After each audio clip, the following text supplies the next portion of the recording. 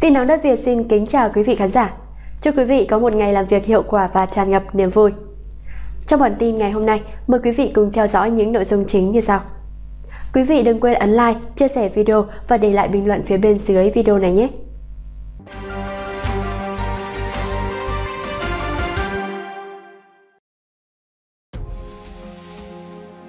Đường dây đánh bạc 300 tỷ ở thành phố Hồ Chí Minh hoạt động như thế nào?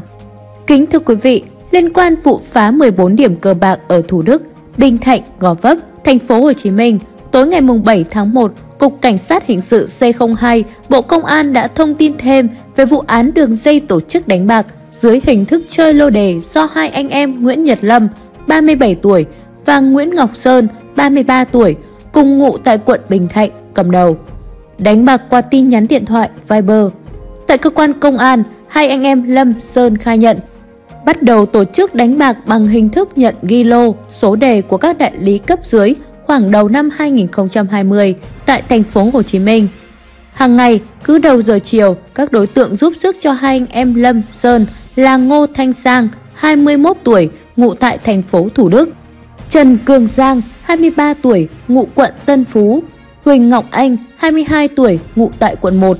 trực tiếp nhận phơi đề của các đại lý cấp dưới, con bạc qua tin nhắn, điện thoại, Viber. Sau đó nhóm này nhắn tin lên nhóm chung của đường dây sau khi nhập vào phần mềm tính toán tiền thắng, thua để các đối tượng Phan Gia Tuấn, 47 tuổi, ngụ quận Bình Thạnh và Nguyễn Trung Hiếu, 32 tuổi, ngụ quận Bình Thạnh trực tiếp đi giao nhận tiền thắng thua với các đại lý cấp dưới.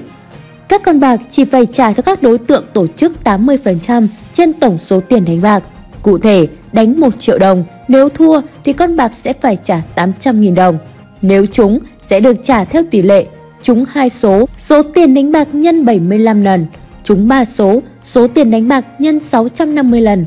trúng 4 số, số tiền đánh bạc nhân 5.500 lần. Ngày 6 tháng 1, khi Lâm, Sang, Ngọc Anh đang ở tại căn nhà trên quốc lộ 13, phường Hiệp Bình Phước, thành phố Thủ Đức để nhận phơi đề của các đại lý cấp dưới. con bạc chuyển tin nhắn đến thì bị trinh sát cục C02 ập vào khống chế bắt giữ. Cùng lúc, tổ trinh sát khác cũng ập vào căn nhà nằm ở đường Bùi Đình Túy, phường 12, quận Bình Thạnh, khống chế bắt giữ Sơn cùng Giang khi đang nhận phơi đề của các đại lý cấp dưới, con bạc chuyển tin nhắn đến. Tại công an, Giang khai nhận phơi đề qua tin nhắn FNS, Viber của 10 người khác là đại lý cấp dưới. Con bạc với tổng số tiền đánh bạc gần 480 triệu đồng. Nguyễn Huy Hoàng, 28 tuổi, ngụ quận Gò Vấp, đã phơi nhận đề qua tin nhắn điện thoại Viber và 9 người khác là đại lý cấp dưới. Con bạc với tổng số tiền đánh bạc hơn 100 triệu đồng. Nguyễn Văn Phong, 37 tuổi, ngụ tỉnh Đồng Nai, đã chuyển phơi đề cho Ngọc Anh với số tiền đánh bạc là 5 triệu đồng. Hứa Thị Diễm Trang, 45 tuổi, ngụ tại thành phố Thủ Đức, đã chuyển phơi đề cho Ngọc Anh với tổng số tiền đánh bạc là gần 22 triệu đồng. Ngô Thanh Sang đã nhận phơi đề của 8 người khác là đại lý cấp dưới, con bạc với tổng số tiền đánh bạc hơn 72 triệu đồng. Trần Quốc Bình, 57 tuổi, ngụ quận Bình Thạnh, đã chuyển phơi đề cho Sang với số tiền là gần 2 triệu đồng. Tổng số tiền các đối tượng tổ chức cho các con bạc đánh lô, số đề vào ngày 6 tháng 1 là gần 700 triệu đồng. Bộ Công an cất lưới bắt 12 đối tượng. Qua quá trình điều tra, trinh sát địa bàn, công an xác định đường dây tổ chức đánh bạc và đánh bạc này do hai anh em Lâm Sơn cầm đầu. Chiều ngày 6 tháng 1, hàng chục trinh sát cục C02 và tiểu đoàn cảnh sát cơ động Bộ Công an đã chia thành 14 tổ công tác ập vào 14 tụ điểm ở thành phố Thủ Đức, quận Bình Thạnh, quận Gò Vấp.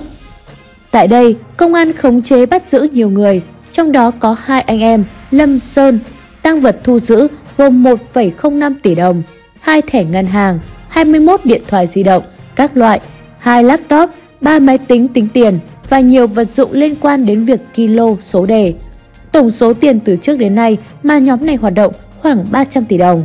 Các đối tượng cấu kết chặt chẽ với nhau, có phân công vai trò, nhiệm vụ cụ thể cho từng người. Sang, Giang, Ngọc Anh có vai trò kỹ thuật giúp sức cho hai anh em Lâm Sơn trong việc quản lý nhận phơi đề, tính toán tiền thắng thua. Các đối tượng Tuấn, Hiếu có vai trò giúp hai anh em Lâm Sơn đi giao, nhận tiền thắng thua với các đại lý cấp dưới. Con bạc và được trả công từ 5 đến 10 triệu đồng một tháng một người.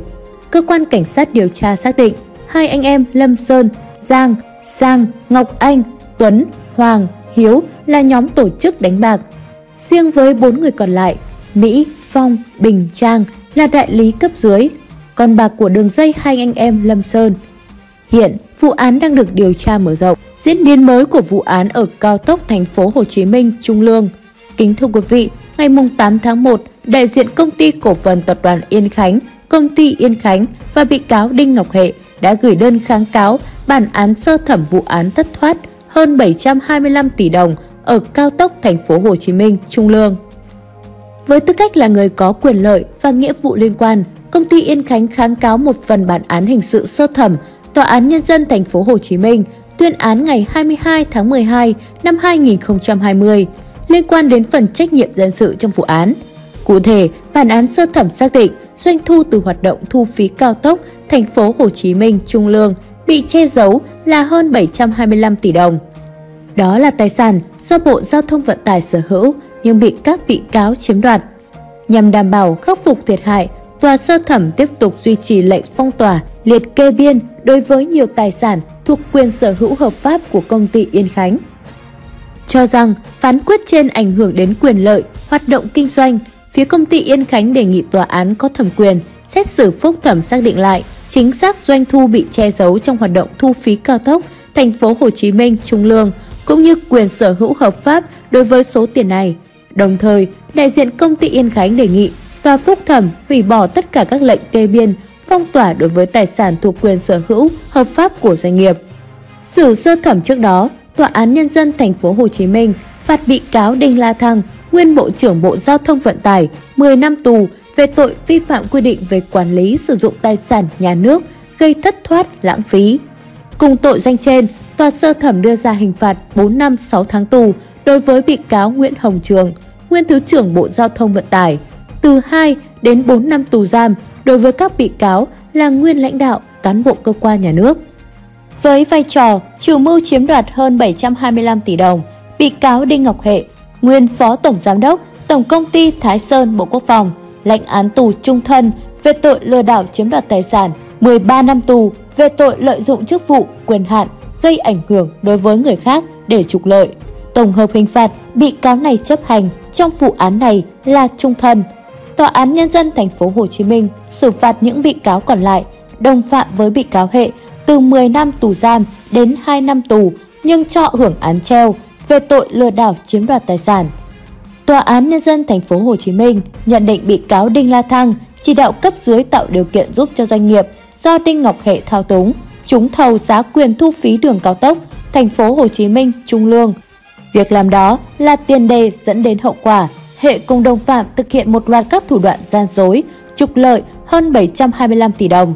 Có động cơ chiếm đoạt tiền ngân sách, Đinh Ngọc Hệ chỉ đạo cấp dưới thực hiện hàng loạt thủ đoạn gian dối ở công ty Yên Khánh như làm giả hồ sơ tham gia đấu giá, chỉ đạo cấp dưới sử dụng công nghệ can thiệp vào hệ thống dữ liệu nhằm che giấu sai phạm, trục lợi. Cơ quan xét xử sơ thẩm nhận định đó là những thủ đoạn tinh vi, xảo quyệt, hòng qua mặt được cơ quan quản lý nhà nước là Bộ Giao thông Vận tải, Chính phủ thời gian lao. Kính thưa quý vị, quyết liệt có thể nói là phác họa đầu tiên, là một trong những cụm từ đúng chất khi nói về những nỗ lực của chính phủ trong năm 2020. Quyết liệt trong nỗ lực phòng chống dịch bệnh và quyết liệt trong việc kiến tạo các quyết sách đảm bảo an sinh, phát triển kinh tế xã hội. Năm 2020, đại dịch xuất hiện, bùng phát trên phạm vi toàn cầu, ảnh hưởng nặng nề đến tất cả các lĩnh vực, dẫn đến tình trạng suy thoái kinh tế thế giới nghiêm trọng. Việt Nam không là ngoại lệ, khi đời sống xã hội, sản xuất kinh doanh bị trì trệ, nhiều hoạt động kinh tế, văn hóa xã hội bị ảnh hưởng nghiêm trọng.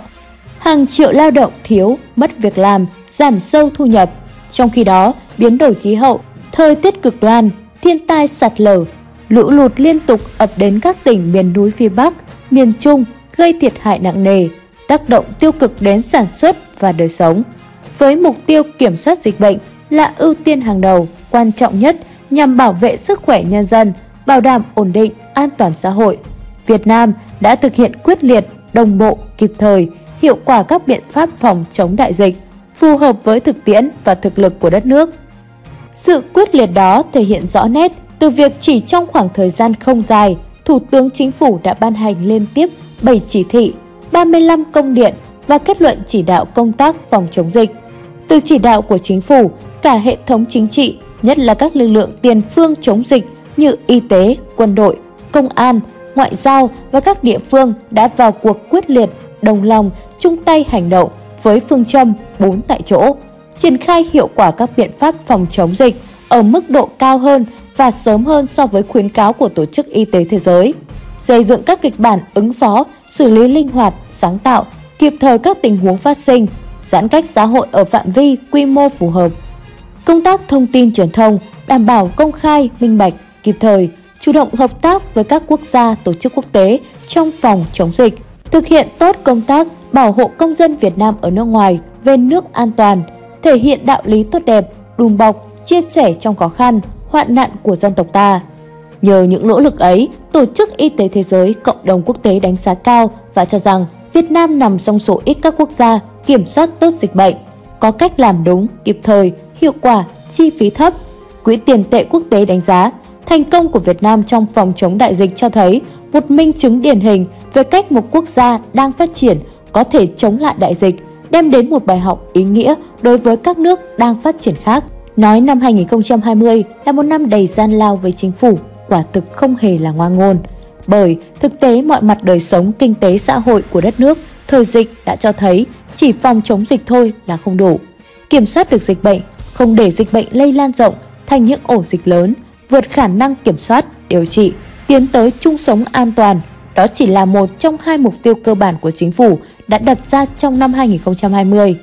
Bảo đảm an sinh xã hội, phục hồi và phát triển kinh tế xã hội, phấn đấu để nền kinh tế đạt tăng trưởng ở mức cao nhất, cũng là một đích đến nữa mà chính phủ quyết liệt đặt ra cho năm 2020. Không chỉ là mục tiêu, chính phủ đã hành động và hành động quyết liệt. Nhằm tháo gỡ khó khăn cho sản xuất kinh doanh, hỗ trợ người lao động, người dân mất, thiếu việc làm, gặp khó khăn, chính phủ đã kịp thời triển khai các giải pháp hỗ trợ như miễn, giảm, gia hạn thuế và các khoản thu ngân sách, cơ cấu lại nợ, miễn, giảm, hạ lãi suất cho vay.